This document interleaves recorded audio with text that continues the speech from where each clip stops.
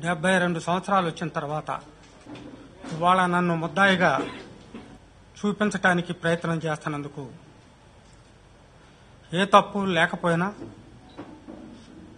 అతి చైతన్యవంతమైన కృష్ణా జిల్లాలో పంతొమ్మిది వందల డెబ్బై రెండు నుంచి డెబ్బై రెండులో నేను శాసనసభ్యుడిగా ఎన్నికైనప్పుడు నా వయసు ఇరవై ఆరేళ్ళు. నాటి నుంచి నేటి వరకు నేను ఈ జిల్లాలో ఉన్నటువంటి పెద్దలకి పిన్నలకి ప్రియమైనటువంటి మన జిల్లా వాసులకి రాష్ట్ర వాసులందరికీ చాలా బాధాకరమైనటువంటి పరిస్థితుల్లో నేను ఈ రోజున మాట్లాడుతున్నాను ఇంగ్లీష్లో సామెత ఉంది how you are is not important how you are perceived by the others is important ఈ వయసులో నేను ఎట్లాంటి వాడినైనా ఎట్లాగో చూపెట్టడానికి వాళ్ళ ప్రయత్నాలు జరుగుతున్నాయి. నందిగామ నియోజకవర్గంలో డెబ్బై రెండు నుంచి శాసనసభ్యుడిగా ఉన్న సమితి అధ్యక్షుడిగా కానీ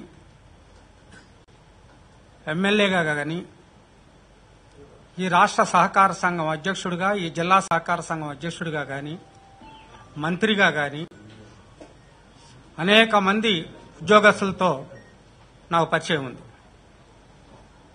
ముఖ్యంగా నేను పనిచేసిన సంస్థల్లో ఉన్నటువంటి వాళ్ళే కాకుండా నేను పనిచేయని సంస్థల వాళ్ళనైనా సరే ఏ అధికారినైనా ఎక్కడైనా డెబ్బై రెండు నుంచి నేటి వరకు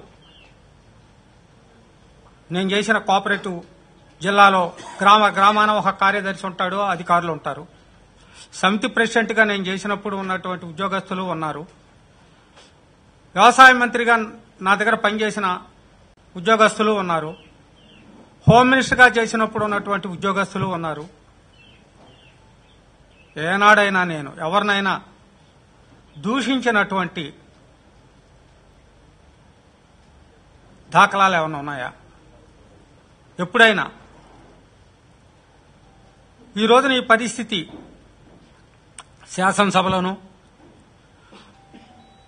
ముఖ్యంగా చంద్రబాబు నాయుడు గారు ఇతరులు కూడా మాట్లాడుతున్నారు.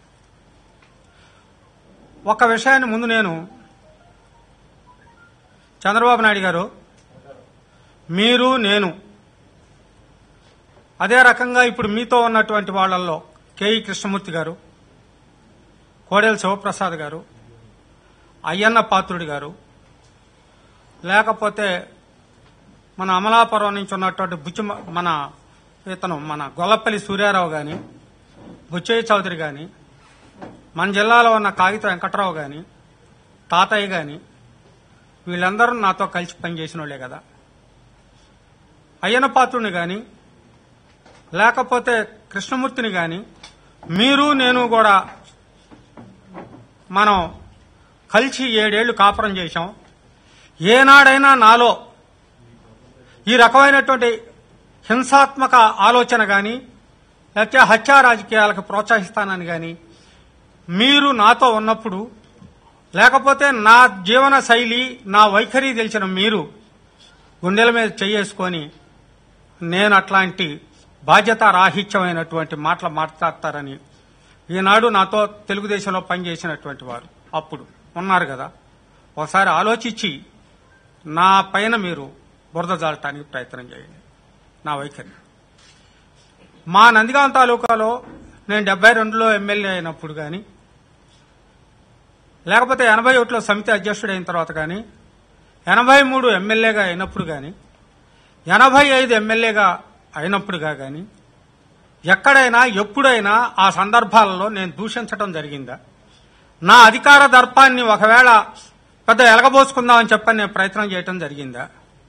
నాకు ముక్కపాటి వెంకటేశ్వర గారికి వర్గం ఉన్నా లేకపోతే నాకు కాంగ్రెస్ పార్టీకి మధ్య విభేదం ఉన్నా లేకపోతే ఇంకొక రకమైనటువంటి విభేదం ఉన్నా చర్చల ద్వారానే జరిపాం కానీ దురదృష్టవశాత్తు నేను అధికారంలో ఉన్నంత వరకు నందిగాం తాలూకాలో ఏ రకమైనటువంటి ఎక్కడా కూడా ఇవ్వకుండా అవసరమైతే నేను వాళ్ళ ఇళ్ళకెళ్ళి నేను ఏదన్నా మా వర్గాన్ని నేను చేయకపోయినా నా వర్గం వాళ్ళు తప్పు చేసినా క్షమించండి అని చెప్పని చెప్పిన సందర్భాలు కో కొలలు ఉన్నాయి. కానీ మా నందిగాం తాలూకా ఎప్పుడు నె- నెత్తురు మరకలు అంటినయో మీ అందరికీ తెలుసు. ఈ దేవినేని వెంకటరమణ ఈ దేవినేని వాళ్ళు వచ్చిన తర్వాతనే మా గాంధీ సెంటర్లో గాంధీ గారు చూస్తుండగా బరిసెలు తీసుకొని పోట్లు పొడుచుకొని హత్యలు చేయించుకొని గందరగోళాలై వాళ్ళ వర్గాన్ని వీళ్ళు చంపాలని వీళ్ళ వర్గాన్ని వాళ్ళు చంపాలని పాపం ఒక అతను గోపాల్ రెడ్డో ఎవరో అనుకుంటా. మరి హత్యలకు గు- హత్యకు గురయ్యారు.